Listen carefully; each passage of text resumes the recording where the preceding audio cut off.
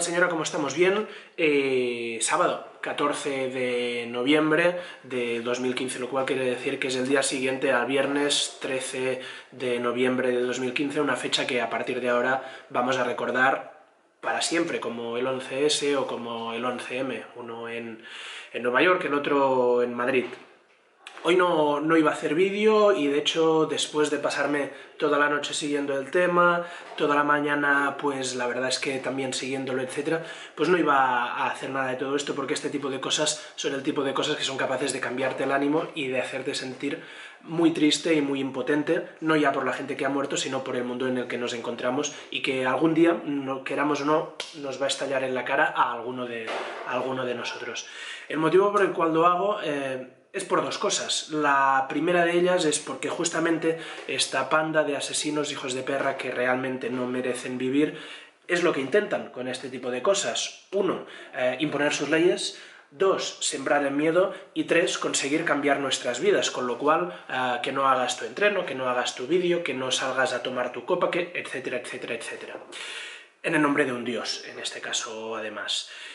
Por otro lado, porque como periodista hay algo que ayer realmente me repateó y me jodió mucho y creo que no podía quedarme sin decirlo. Dicho esto, un pequeño paréntesis, ni voy a opinar, ni voy a decir, ni voy a, meterme con unos o con otros si es de religión, si es de ideología, si es de fanatismo, si es de extremismo, porque creo que soy incapaz de hacerlo y porque creo que no podría ayudar en nada. Con lo cual, cada uno que piense lo que quiera, yo tengo muy claro lo que, lo que pienso al respecto, al respecto de esto. Solo haré un apunte, creo que hay dos cosas que, que son las más jodidas. La primera que normalicemos el hecho de ir por la calle, encontrarnos a diario a policías con armilla antibalas y con metralleta que nos pueden llegar a mirar mal porque nosotros podríamos ser el terrorista.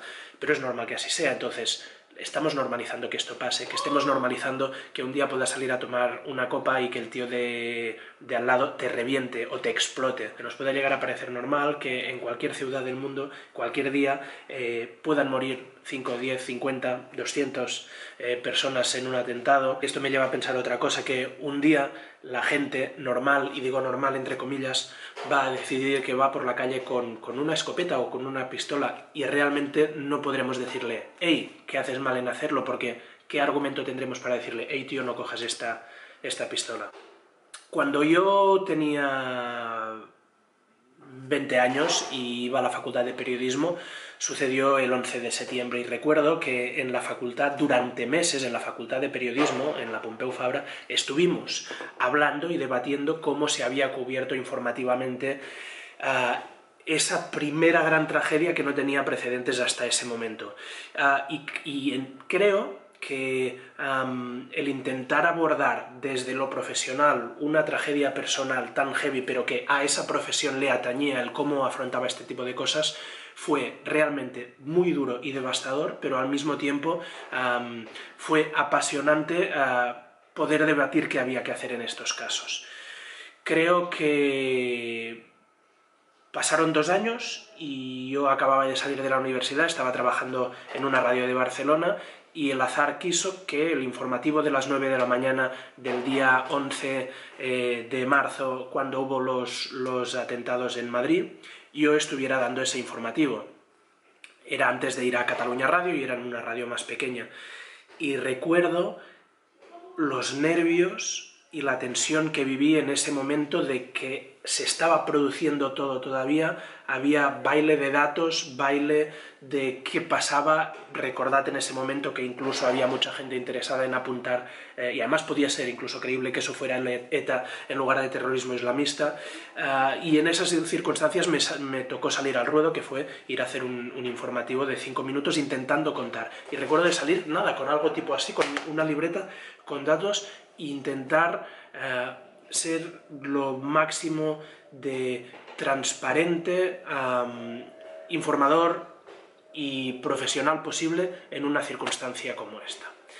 Digo todo esto porque no me entra en la cabeza que con los años que han pasado de todas estas cosas, ayer por la noche, cadenas como Telecinco o cadenas como Antena 3 tuvieron los putos santos cojones no ya de no informar, que alguna al cabo de horas empezó a informar, sino de incluso tuitear cosas como esta. Eh, nuestro corazón, nuestra mente está en Francia, en París, pero nosotros debemos seguir con la emisión de Tu cara me suena. ¿Debemos? ¿Debemos? ¿Estamos hablando de deber? Esto que me parece muy vergonzoso, que en una tele se esté dando eh, un programa, que en otro se esté dando otra cosa, incluso como es Sálvame, o sea, por el amor de Dios, creo que es más vergonzosa todavía cuando, después de esto, hoy, Antena 3 tenía los santos cojones de tuitear esto que veréis a continuación. O sea, cómo después del ridículo, pero es que no se trata de ridículo, no, sino de, para mí, el acto antihumano de ayer, eh, decidir que era más importante el jiji jaja que poder estar informando de algo que creo que sinceramente cambia una vez más el mundo en el que vivimos hoy en día. Y cómo, además, tienes los santos cojones de intentar sacar rédito de... rédito y pecho de... ole mi polla, ¿eh? Lo hice, informé y mira además cuánta audiencia. ¿Cómo puede ser que estemos intentando sacar réditos de audiencia de una cosa como esta? La verdad es que no, es que no lo entiendo muy bien. Esto es todo lo que se me ocurre así, medio en frío, medio en caliente, pensando que no quiero y no voy a hacer ningún vídeo más al respecto. Uno, porque no le daré el placer a, toda esta panda de hijos de perra, asesinos desalmados que, como decía, no merecen vivir. Y dos, porque, porque no soy la persona indicada para hacerlo. Así que aquí lo dejo.